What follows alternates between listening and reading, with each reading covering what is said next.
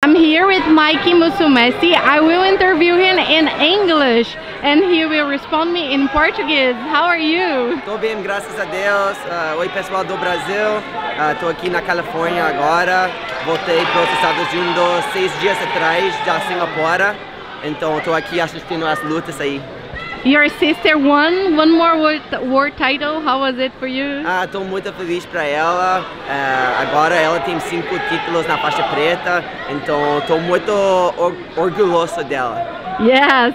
So we are talking before about it, but it's so cool to watch you, to see you speak in Portuguese. And sometimes me, as a Brazilian native speaker, like Portuguese native speaker, sometimes I'm a little shy to speak English and the people judge me and you speak Portuguese with everybody.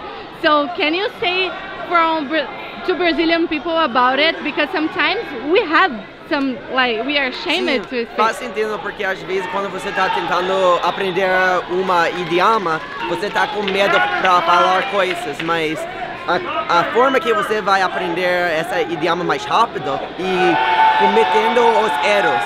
Então você precisa falar essas coisas. Deixa pessoas ajudar você e você vai aprender muito mais rápido. Então um, acho que isso vai ser muito bom para vocês. Yes, how, how did you learn Portuguese? Eu aprendi português todos os dias usando Google Translate. Uh, ninguém eu tenho uma pessoa me ajudando português, então uh, eu me ensinei português. But you are surrounded of Brazilians, right?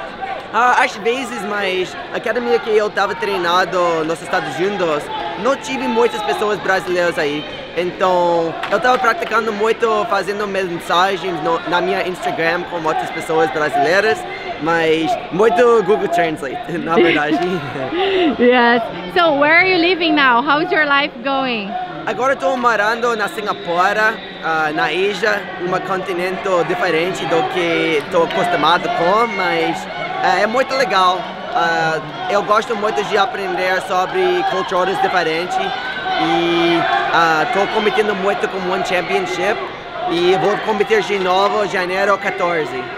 Yes, nice. So send a message to Jiu Jitsu in Frames, my YouTube channel, and ask people to invite people to watch you. Uh, oi pessoal, foi muito legal para falar com vocês hoje. Uh, por favor, assistir uh, os meus, a minha próxima luta, uh, janeiro 14. Deus abençoe.